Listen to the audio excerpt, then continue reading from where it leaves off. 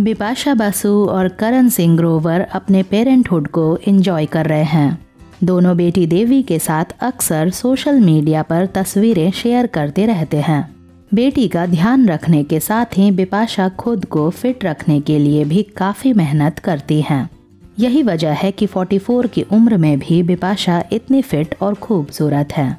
अब बिपाशा की बेटी देवी भी अभी से फिटनेस के मामले में अपनी माँ के नक्शे कदम पर चल पड़ी है। बिपाशा बसु ने इंस्टाग्राम पर एक वीडियो शेयर किया है, जिसमें वो योगा कर रही हैं। इसी बीच उनकी बेटी देवी भी आ जाती है और बिपाशा की नकल करते हुए ठीक उनके नीचे उन्हीं की तरह योगा करने लग जाती है।